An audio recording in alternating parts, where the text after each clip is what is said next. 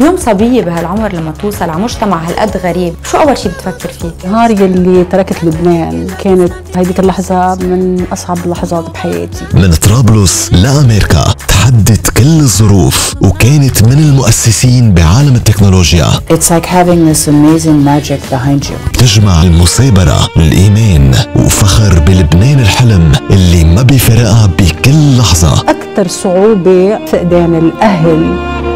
بليز كات إنسانة بتخليك تحسي بأمان. أنا ممنولك حياتي كلها. سفراء الأرز مع هيفا شربل. الخميس 6 إلا ربع المساء.